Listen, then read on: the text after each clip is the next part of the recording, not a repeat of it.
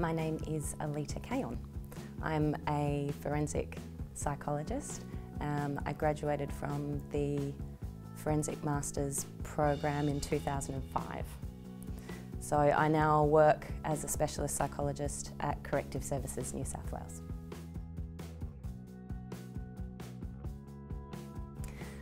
Um, I got my job there fairly soon after graduating, so about six months after I graduated, so nine years. It's been a while. I applied through Jobs New South Wales. Um, it wasn't the first job that I sought out after graduating um, because my initial plans for my career after I graduated from the master's program was I wanted to work in crime prevention rather than rehabilitation or reducing recidivism or anything like that.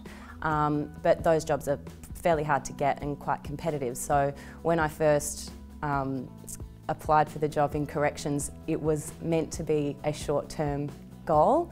Um, but I was so surprised by how much I was learning and um, how different the job was that I'm sort of still there because I feel like I haven't sort of finished learning everything there is to learn yet. So yeah, it was, it was, it's a pleasant surprise.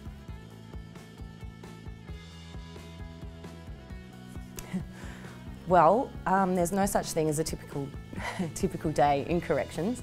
Um, my main role is I work in risk assessment. So um, I currently work at the Metropolitan Remand and Reception Centre and as the inmates come into custody, I will assess them for risk of self-harm or suicide or risk of harm to others. Um, so that's when they first come in, but really it depends on what, what the day needs of you. Um, so my role can range it changes on a day-to-day basis, but it can range from that sort of risk assessment type stuff to um, high intensity group work with inmates, um, and that sort of role can be both within a correctional centre as well as in the community. So it's just where the needs are. Um, we don't hold specific positions in corrective services, we hold a role. So I'm part of psychology services. So it means I can go, you know, in a correctional centre or out in the community. And it's it, every day is liaising with a multidisciplinary group of people. So we liaise a lot with mental health staff, with parole, um, obviously with custodial staff as well, management, um, and it's all about sort of assessing where the inmates are, if they're ready to take part in group programs, we can do um, assessment for treatment readiness. Um, what do the inmates need in terms of taking part in group programs? We assess eligibility for different types of programs. Um, and the types of programs that inmates can take part in are so varied. They go from domestic violence to addiction to um, sex and violent offender programs. So there's a really wide range of assessments that we have to do. And often we can also do things like writing reports for, for the courts, um, we can attend court as expert witnesses. So you sort of show up to work every day and just wait and see what corrections has got waiting for you. So it's, it's a really interesting job, it's very good. Um, I don't know if this is exactly a project, but it is something that I work on um, within my role at the Remand Centre.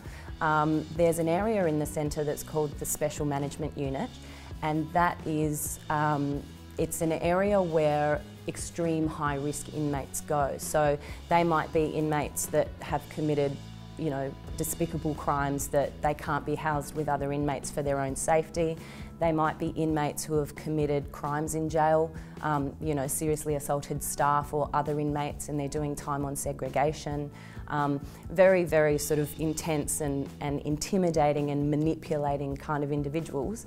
Um, and I have the opportunity to work with um, the general manager of the jail and the executive staff of the jail with regards to um, uh, assessing those inmates, consulting with management in terms of um, where's a suitable you know, place to house them?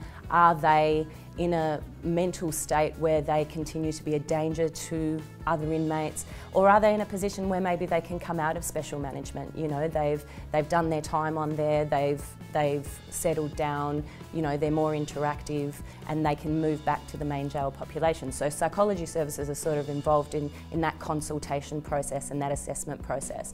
And that sort of I guess I call it a project, but it's more part of my role as well, um, is really rewarding for me because I feel like, um, you know, the information that I provide um, means a lot to the management decisions that are made for those particular inmates that are quite dangerous. So that's, that's my favourite.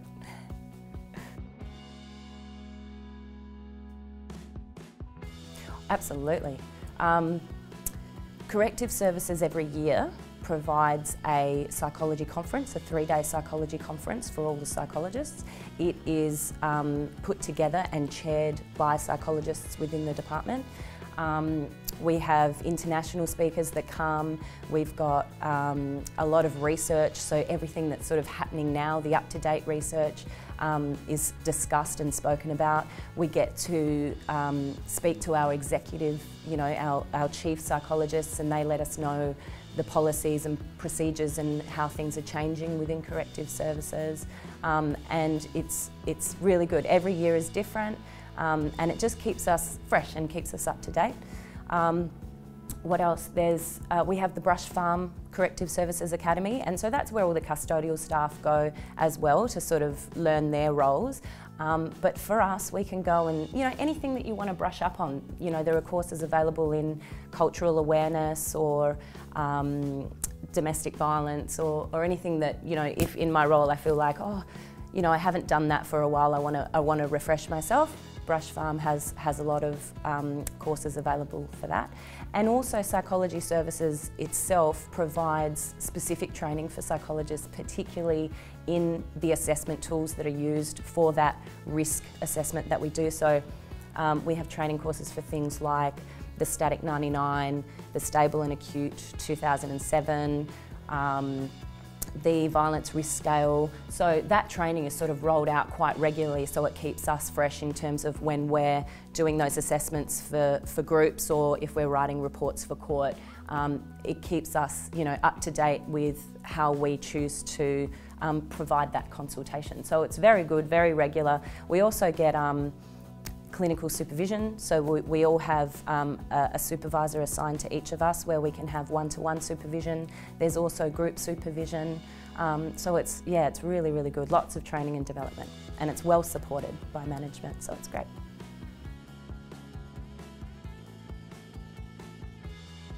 Um, I think when I first applied for my job, I knew that it was going to be at the Remand Centre. And I didn't realise, I don't know why I didn't realise this, but I didn't realise that psychology is involved through the corrections process all the way from the beginning all the way out into the community. So it's that through care. And my favourite part is the inmates, if I can say that, because, or the offenders, because my role allows me to see them when they very first come in, assess them for risk, assess their coping, determine what sort of programs or rehabilitation um, work that they can do, um, move them into that, into that part of, of, of their rehab and see them do the programs either in custody and then through to the community, further programs out in the community, help them again with their coping and adjustment to moving from the correctional system out into the community. And I'm involved that whole way. So I think that's the favourite part of my job because when you have an offender that's actually motivated to rehabilitate themselves and you see them go all the way through, it can actually be a very rewarding job. Um, and I think that that was really a pleasant surprise for me because I imagined that I was going into a job that was, you know, managing the scum and, and you know, dealing with you know, really horrible things. And, you know, of course you get that as part of your job, but there's such a reward to see them come out the other side. And, you know, sometimes the jail will get Christmas cards or thank you letters from families and, and I didn't expect that, you know. So we, I feel like we do have great input and we can work with people to better themselves. And so, yeah, it's really rewarding.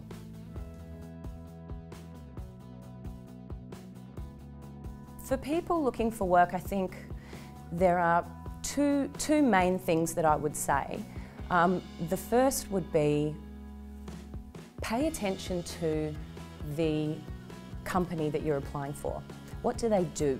What, what is their mission statement? What is their goal in terms of the services that they provide? So really learn that and work out what they want from a psychologist and then provide that to them. So work out how your skills and experience can feed in to what that company needs a psychologist to do. So that would be my first thing. The second thing I would offer would be, with regards to the application process, give really clear and concise examples and information with regards to your skills and experience. So try not to waffle. Um, look at the eligibility criteria or the selection criteria. Think about what skills and experience you've got and apply that. So make it as clear as possible. So you don't want, at the end of an application, you don't want a company to read your application and go, well, do they have that skill or not? I'm not really sure. Be clear and concise and give them what they're asking for. I think they're my two main, two main um, offerings. I always knew that I wanted to be a forensic psychologist. That was my main interest even when I started my undergrad. Um, and I wasn't exactly sure what that entailed. Um, I, I did the Forensic Masters program at UNSW and got so much more out of it than what I expected. And I've really been able to utilise everything that I learnt from the Masters program and, and I've been lucky to have a long and rewarding career as a forensic psychologist and I would do the same again if I got the opportunity again.